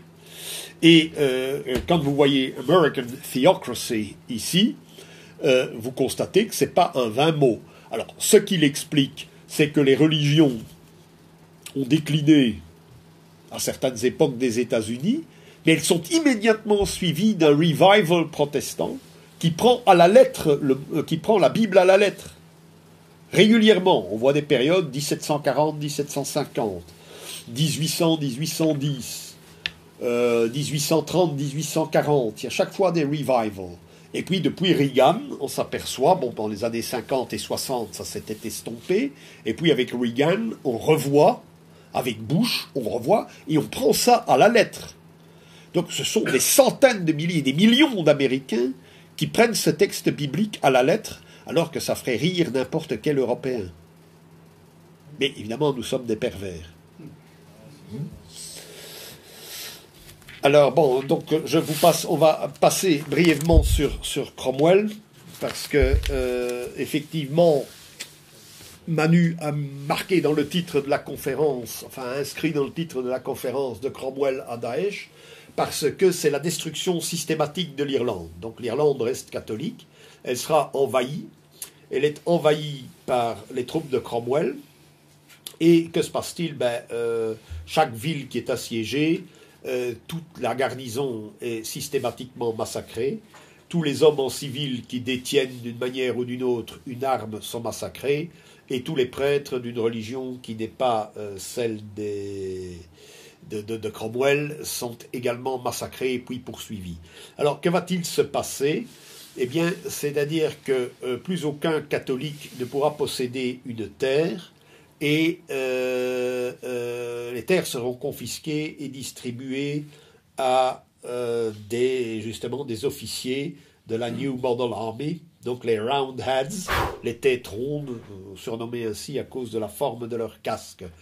Donc euh, euh, ça va créer aussi un phénomène dont enfin en France, oui, on en est partiellement conscient, mais on en est surtout, on en est de moins en moins conscient en Belgique, en Autriche, et en Espagne un petit peu moins.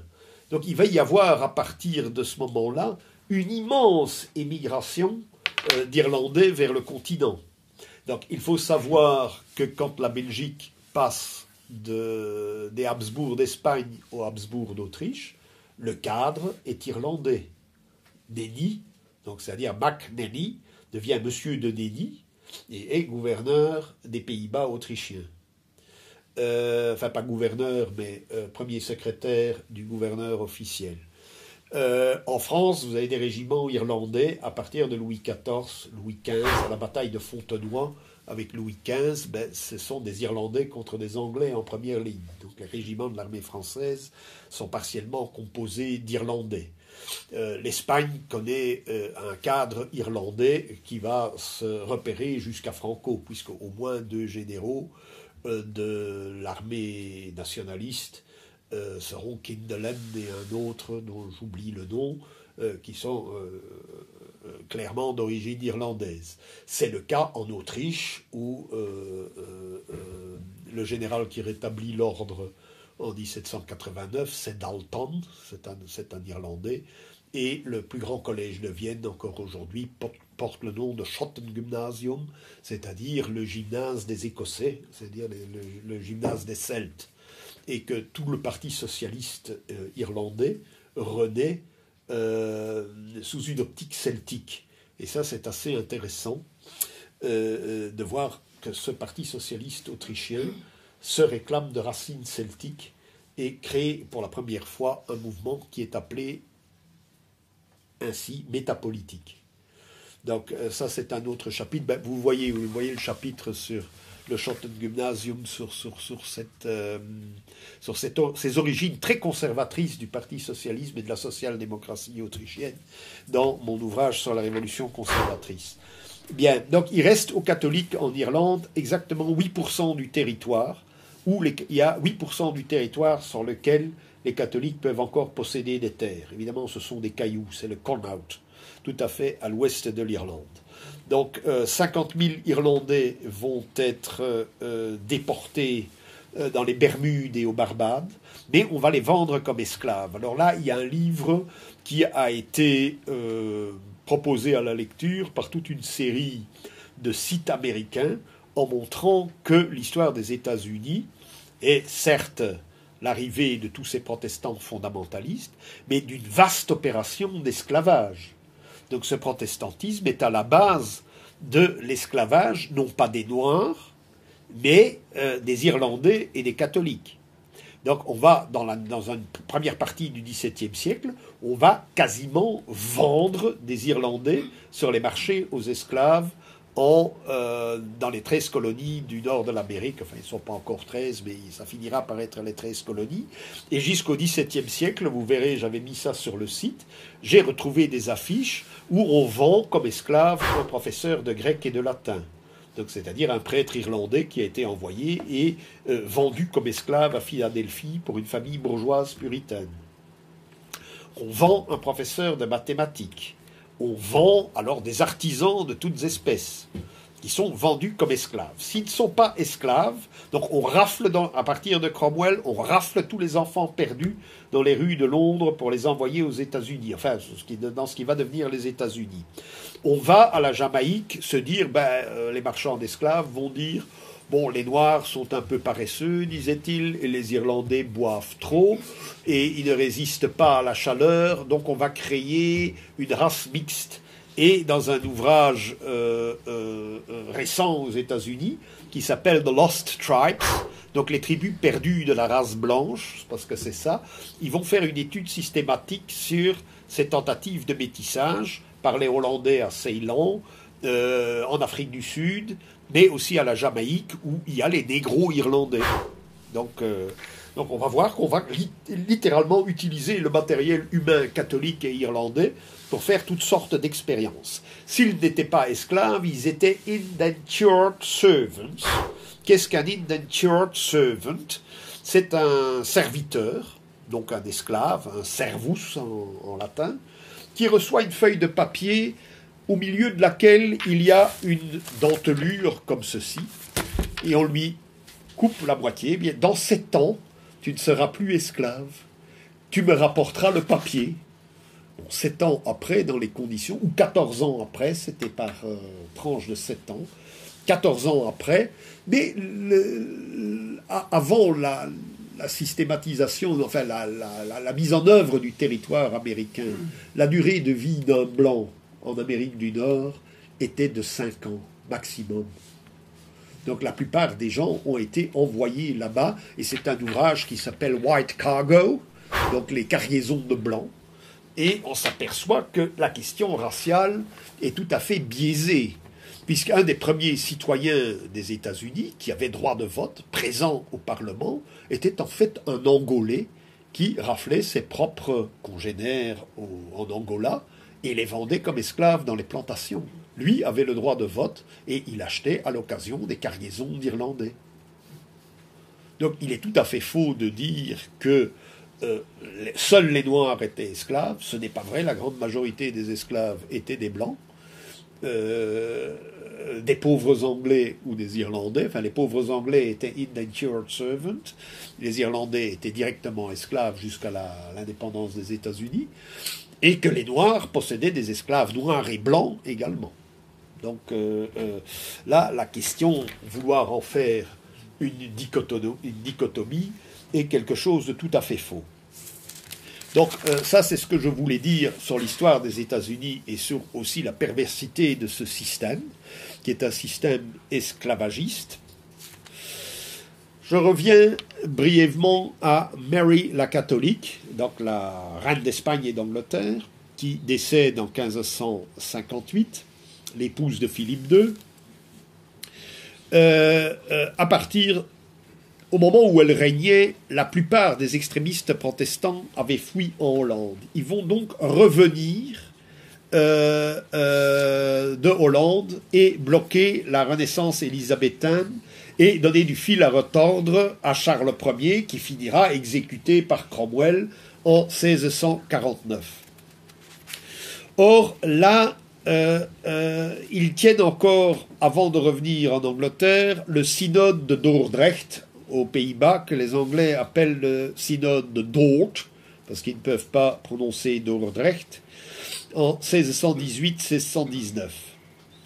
Et là, on voit encore quelque chose de très actuel, vous replongerez dans l'actualité.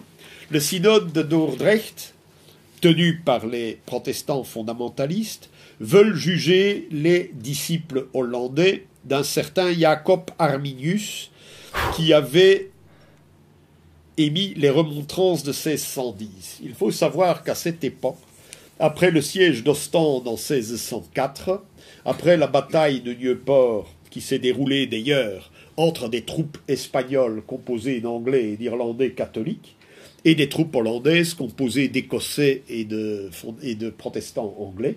D'ailleurs, c'est une bataille très curieuse où les, les commandants sont peut-être espagnols d'un côté, hollandais de l'autre, mais où toutes les troupes sont britanniques. Cette bataille est un peu importante et, est un résumé de, l'histoire des, peuples anglo-saxons. Donc ce clergé protestant qui va revenir va s'opposer à Dordrecht aux disciples de ce Jacob Arminius qui voulait la modération, qui voulait la paix avec l'Espagne et la fin de la guerre des 80 ans. Donc la, toute politique à partir du synode de Dordrecht toute véritable politique est une politique maximaliste, une politique qui veut une guerre à outrance, que l'on va continuer même après la, trêve de, la trêve de 12 ans qui avait été décrétée après la prise d'Ostende ou la reprise d'Ostende par les troupes espagnoles. Donc ici, nous avons la même chose. Nous avons la même chose à notre époque. Donc il n'y a pas de trêve possible avec un Saddam Hussein. Donc en plusieurs étapes, on va continuer à éliminer. Il y a pas, il y a eu une trêve avec Kadhafi, mais il fallait quand même l'éliminer. On va tout de même faire la guerre et on va utiliser tous les instruments de la propagande ici en France avec Bernard-Henri Lévy. On va utiliser tous les instruments de la propagande pour mener jusqu'au bout une guerre qu'on a décidé de mener contre des gens qui ne partageaient pas la même vision des institutions, la même vision philosophique, la même vision théologique que celle des protestants. Donc, que, va-t-il se passer en Hollande? C'est aussi une étape importante de l'histoire euh, des Pays-Bas. Johann von Hollen-Barneveld, qui était qui s'inspirait de Jacob Arminius et qui voulait une paix définitive avec l'Espagne après la trêve de deux ans, va finir décapité le 13 mai 1619.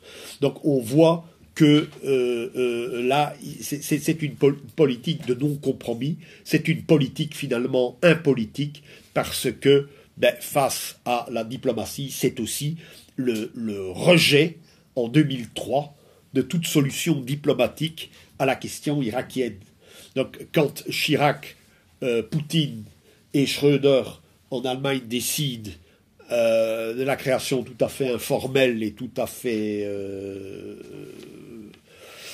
tout à fait informel d'ailleurs, d'un axe Paris-Berlin-Moscou. C'est un recours à la diplomatie. Que disent les néoconservateurs américains qui appartiennent à cette veine euh, que nous dénonçons aujourd'hui.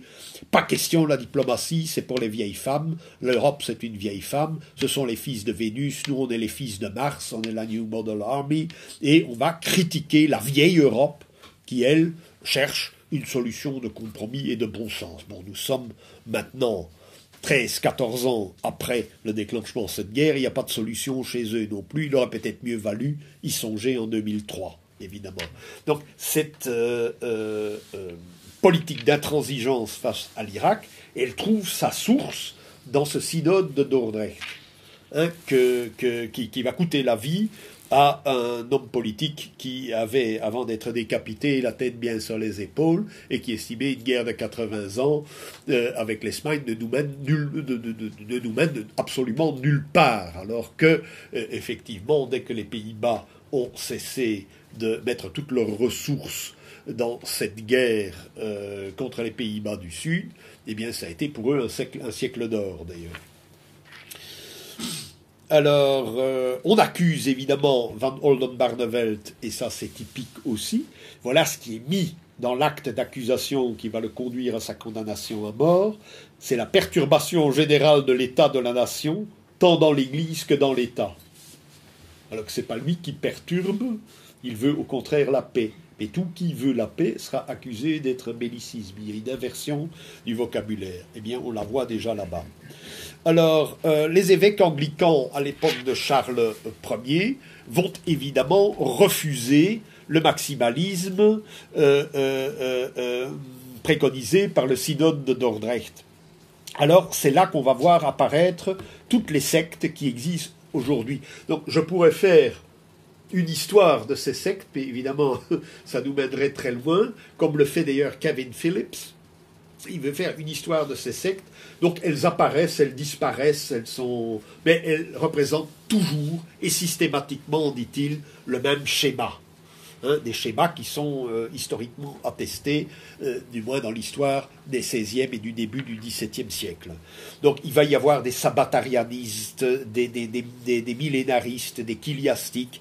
Euh, Satan a été enchaîné pendant mille ans, maintenant il est déchaîné, donc on va faire le retour, et ce sera la, bataille finale, et cette idée de, de Armageddon, d'apocalypse, et l'idée récurrente que vous allez entendre dans le discours de Reagan, puis dans le discours du père et du fils Bush, dans le discours non pas des néoconservateurs, parce que les néoconservateurs, en fait, n'appartiennent pas à une tradition euh, protestante. Ce sont euh, des gens qui auparavant étaient trotskistes et qui voulaient la révolution permanente.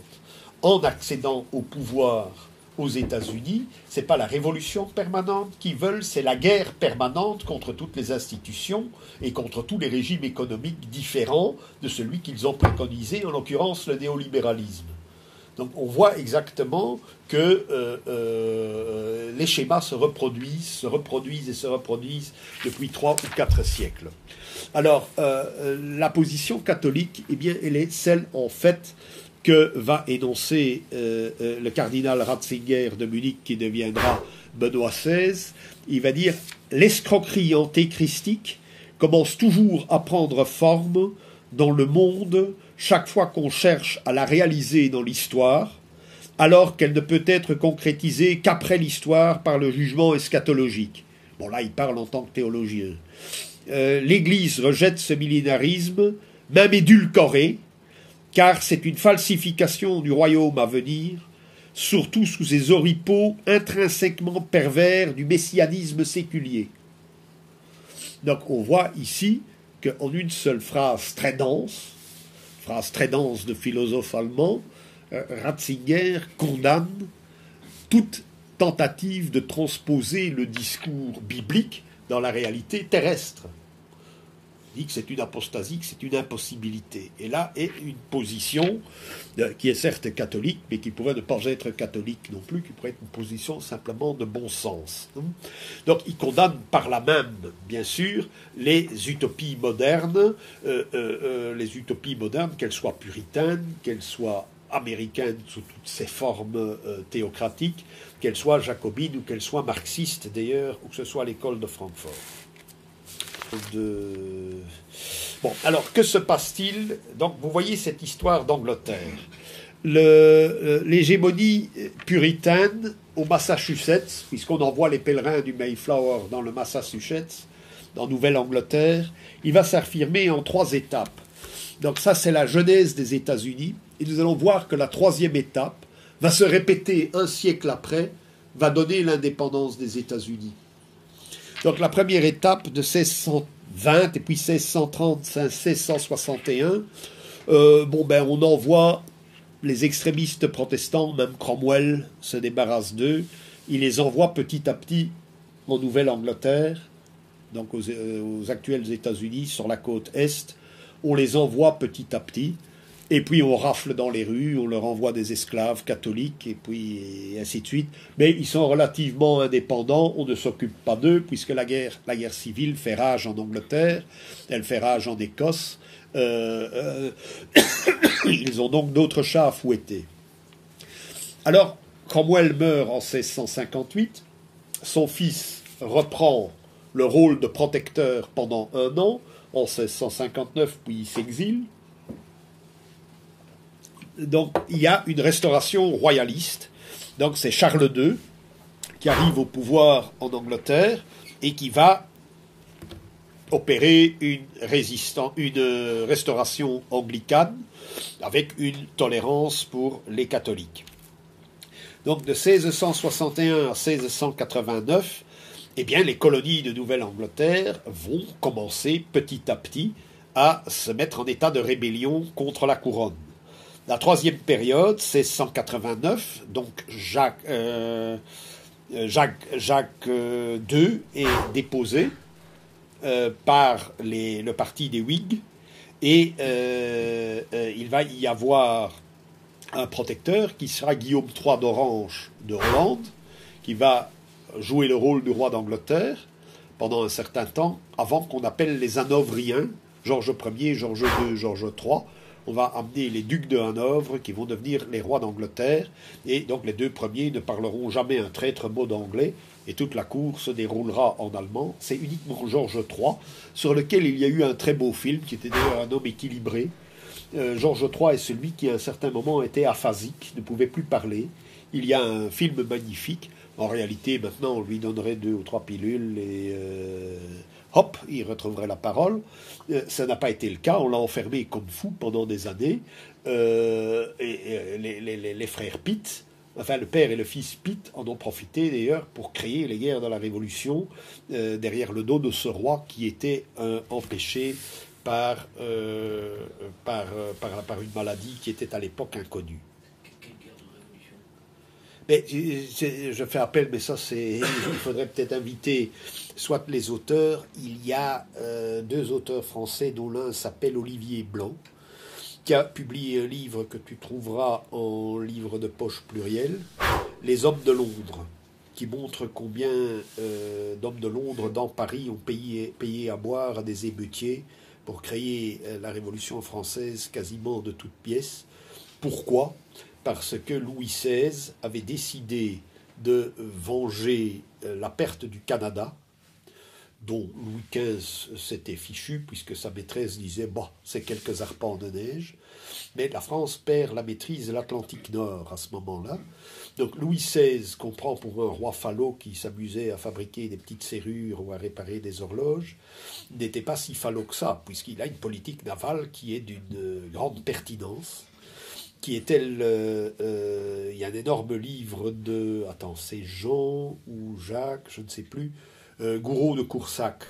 Il a fait avec son épouse un immense ouvrage sur la politique maritime de Louis XVI, qui entre-temps a aussi une diplomatie de premier plan, puisqu'il s'allie avec euh, Marie-Thérèse d'Autriche, puisque Marie-Antoinette devient sa femme. C'est un mariage politique et un mariage de raison en même temps et qui s'allie avec la, la, Russie Catherine II. Donc il y a, si tu veux, et ça c'est ma thèse, il y a euh, un fameux, il y a un eurasisme du XVIIIe siècle qui est très très euh, intéressant à étudier. Il est d'autant plus intéressant que euh, plusieurs livres sont parus en Angleterre ou aux États-Unis pour montrer que les Russes commençaient à conquérir le Pacifique, de même que Louis XVI envoyait des expéditions dans le Pacifique, la Pérouse, etc. Euh, Boulainvilliers et, et, on se rendait compte que la maîtrise du Pacifique allait être déterminante pour l'histoire du XXe et enfin pour, pour, l'avenir à l'époque. Et euh, les Russes possèdent Hawaï, possèdent l'Alaska, à cette époque-là et une partie de la Californie. Il y a donc une frontière commune entre la Russie et l'Espagne en Californie. Or, le gouverneur russe tombe follement amoureux. C'était une très belle histoire d'amour. C'est elle qui est contée dans un best-seller anglais d'ailleurs entre euh, ce beau grand gouverneur russe et la fille du gouverneur espagnol de Californie. Alors la malheureuse va suivre son mari à Moscou et là elle va euh, pas supporter le climat et elle va mourir foudroyée par une pneumonie et son euh, mari sera inconsolable. Et finalement les Russes se retireront de Californie en 1842 seulement, donc la dernière petite garnison russe qui devait ne, pas comporter plus d'une dizaine de soldats va se tirer de Fort Ross en Californie, va conserver l'Alaska qui sera vendu pour financer la conquête de l'Asie centrale, donc de l'actuel Kazakhstan, Turkménistan, Ouzbékistan, par le tsar Alexandre II. Donc tu as euh, euh, Louis XVI, donc il y, a toute cette histoire du Pacifique qui est, qui est une, matière absolument extraordinaire. Euh, c'est plein de belles histoires.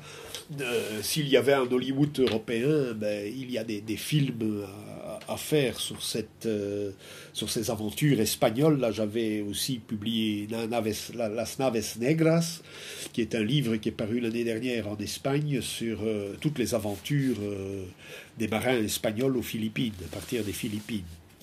Donc il y a, euh, il y avait une présence espagnole, puis euh, une présence russe et une présence française dans le, Pacifique, euh, qui peut donner matière à, une, à une, un, cinéma complètement alternatif à Hollywood. Je termine simplement. Bon, sur les Wahhabites, vous trouverez matière. Il vous suffit d'aller chez votre marchand de journaux pour euh, lire ça, c'est tout de même didactique, c'est remarquablement bien fait, ça, ça, ça paraît tous les, tous les deux mois, tous les trimestres, donc c'est une revue trimestrielle. Euh, ce numéro-ci, ben, on parle du salafisme, les articles euh, sont des définitions, sont autant de définitions euh, c'est très bien écrit.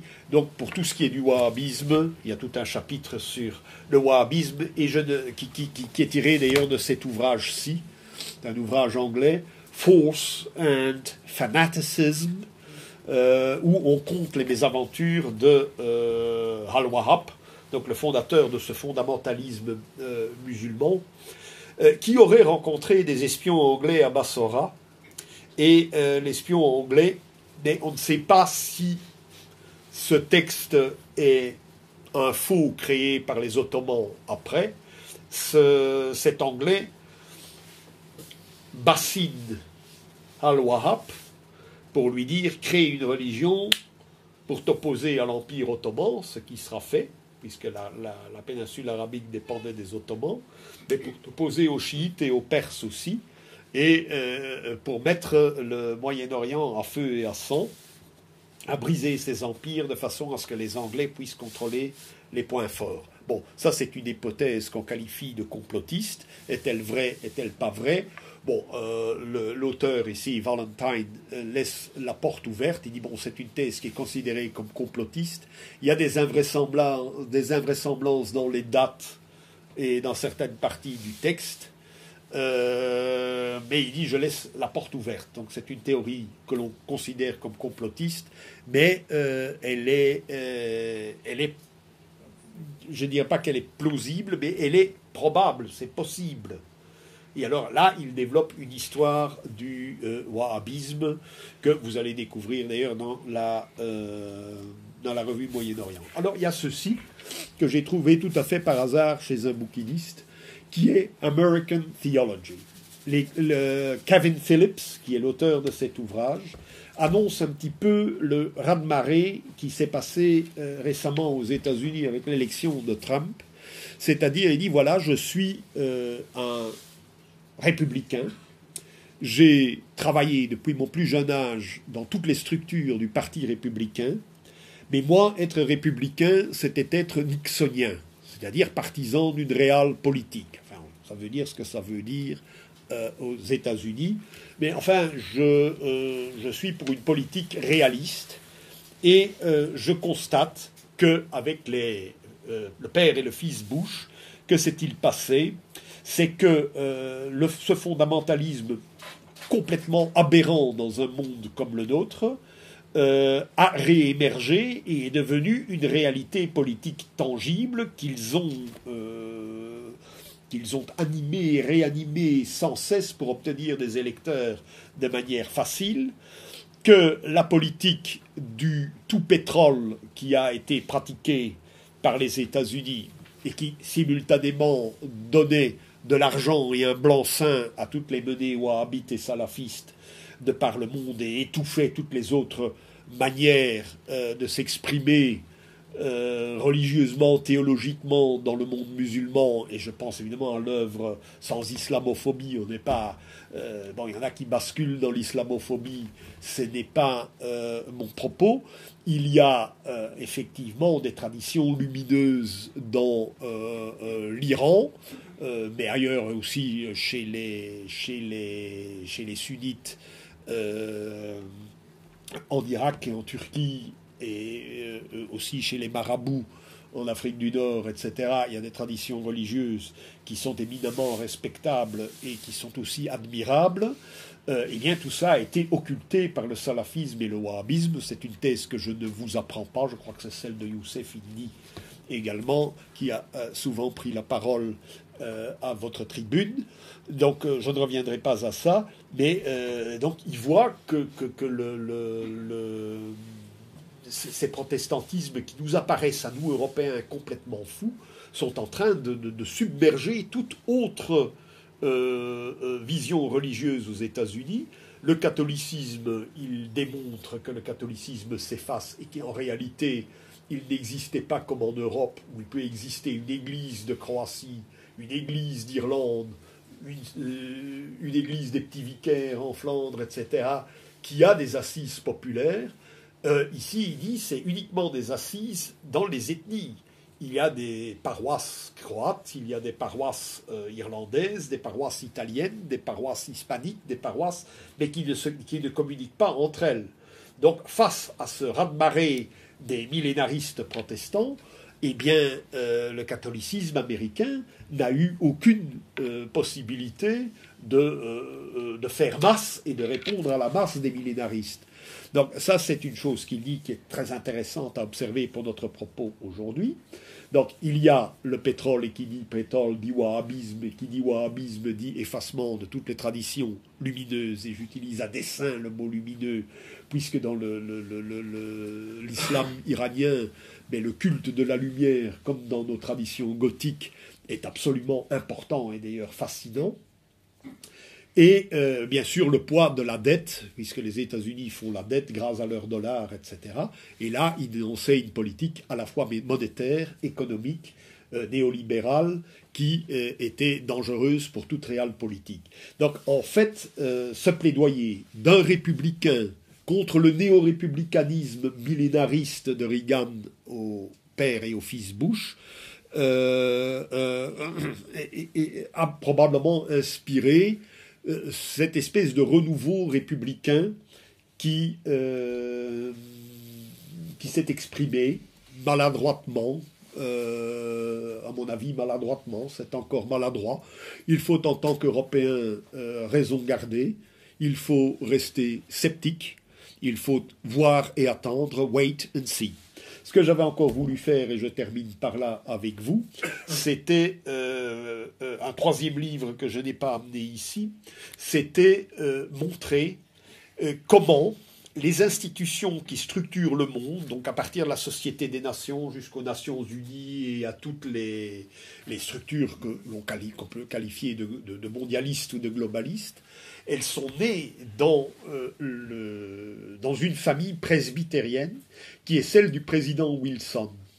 Et les libertariens américains, qui partagent certaines théories, se disent oui mais nous sommes tributaires d'un gars qui racontait des choses absolument euh, euh, euh, affolantes dans son jeune temps, qui était le président Wilson. Et ce livre sur Wilson montre que ce protestantisme, ce protestantisme euh, ils étaient presbytériens parce étaient d'origine écossaise, euh, et comment il l'a laïcisé dans ses propos. Comment il a laïcisé toutes les thèses les plus aberrantes. Il les écrivait dans sa jeunesse, et puis euh, il montre par ses attitudes, par sa politique, par sa duplicité apparente, euh, comment il a créé toutes les institutions qui vont jeter les bases euh, non seulement du mondialisme actuel, mais aussi d'une tradition dont seuls dans toute l'Europe, seuls ceux qui étudient à fond l'œuvre de Carl Schmitt euh, sont conscients. Ce sont des parties de l'œuvre de Carl Schmitt qui n'ont pas encore été traduites en français, mais euh, c'est immédiatement après la création de la Société des Nations, euh, dans le sillage de Wilson qui va mourir en 1924, toute une série de diplomates vont entrer en jeu sur la scène internationale, dont deux, je vous cite le nom de deux d'entre eux, c'est Stimson et Kellogg. Et Stimson et Kellogg vont dénier à tout État de la planète quel qu'il soit, par le biais de la Société des Nations que les États-Unis ne reconnaissent pas, mais ils vont utiliser malgré tout la Société des Nations, basée à Genève, ils vont l'instrumentaliser pour faire leur politique. Donc ils vont dénier à tous les États le droit de faire la guerre. Or, le droit de faire la guerre, c'est le droit de souveraineté par excellence. Donc je déclare qui est mon ennemi, et subséquemment, peut-être bien que oui, peut-être bien que non, on n'est pas obligé de faire la guerre si on est suffisamment puissant pour dissuader, on ne la fait pas, mais s'il n'y a pas d'autre moyen, on l'a fait. Et euh, euh, ça va s'abattre essentiellement d'abord sur le Japon.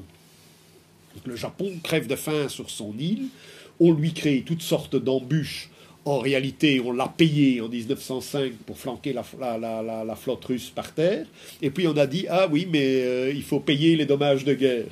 Donc l'argent qu'on avait prêté aux Japonais, ils les ont récupérés d'une certaine manière. Donc le Japon, immédiatement, après sa victoire sur la Russie, va chercher l'alliance avec la Russie dans le Pacifique.